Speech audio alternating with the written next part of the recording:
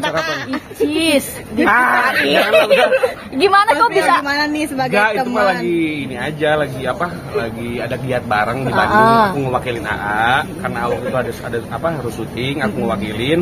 Dan emang ada tiba-tiba harus riding bareng tuh sama Nah. Mas Gibran, sama Kang Emil. Terus Ricci cuma kenal sama aku ya udah Boncengan. Itu gara-gara itu ya Gara-gara dekat. itu cuma jadi rame. Tapi digadang-gadangin dekat sama Ricis gimana sih Mas Hmm, Prio? Biasa aja, biasa aja. Kita dekat cuma sebatas pekerjaan. Mungkin ke depannya ada banyak pro, apa ada banyak giat yang akan bareng juga. Mas Prio ini menanggapi soal isu percayaan Ricis nih sebagai teman dan kerabat dekat seperti apa sih menyayangkan gak sih Mas Prio? Keseret-seret mamanya juga Aku sih lu. eh, sering ngobrol. Beberapa kali pernah ngobrol cuma mendoakan aja, cari yang terbaik. Karena kan mau nyambung atau berhenti ya itu udah jadi keputusan mereka. Hmm. Tapi kenalnya udah berapa lama sih Mas Rio? Aku kenal udah dari dulu waktu masih aku di aku dulu kerja di salah satu stasiun TV. Hmm. Itu udah sering kerja bareng gitu. Cuma kalau sekarang kan aku megang AA, jadi banyak collab juga ya kenal gitu. dalam Sering, sering curhat nggak sih Mas Prio ke Mas Prio sendiri tentang terkait isu perceraiannya mereka nih? Enggak sih aku, aku pun nggak enak kalau untuk mainan itu.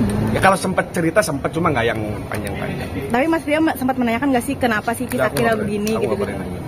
Hmm. Mas ketika nama dirimu Iya, keseret ke Ria Ricis sempat nggak mungkin uh, ada obrolan dengan Icis Ya. atau gimana? Sempat, aku sempat ngobrol, cuma kita ketawa-tawa aja.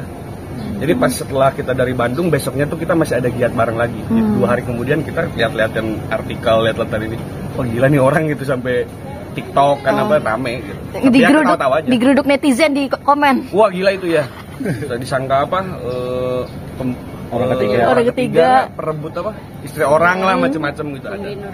Reaksi Karena emang ada beberapa foto yang Terlalu nempel akunya ya. nempel ke badan dia gitu terus di motornya dia terlihat senang gitu, gitu aja. Mas Prio melihat eh, perceraian ini mungkin Ricis sendiri terlihat lebih fun atau apa tabah apa tegar apa gimana sih Mas Prio? Aku nggak bisa menilai itu cuma dia mencoba untuk menyibukkan diri aja sih sebenarnya. Hmm. Karena mungkin ya nggak tahu di masalah di belakangnya kita Hmm. sebesar apa yang kita nggak tahu. Kan sering uh, turun bareng nih untuk uh, dukung paslon 2 ini mungkin gimana mungkin untuk Ricis sendiri apakah memang menghibur diri atau apa sih ke Mungkin begitu.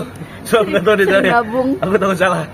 Cuma dia saat ini lebih ke menyibukkan diri aja. Mas, Mas ini Prio- setelah setelah ini bakal jaga jarak sama Icis kah? Ah, biasa aja kita mah, aman aja. Mas Prio aku tadi telat awal mula muncul kenapa kamu digosipin sama Ricis itu apa sih? Ya karena bareng aja, karena kerja bareng, motoran, rame gitu. Tapi emang eh, pernah punya hubungan atau Lu nggak ada lah, gila.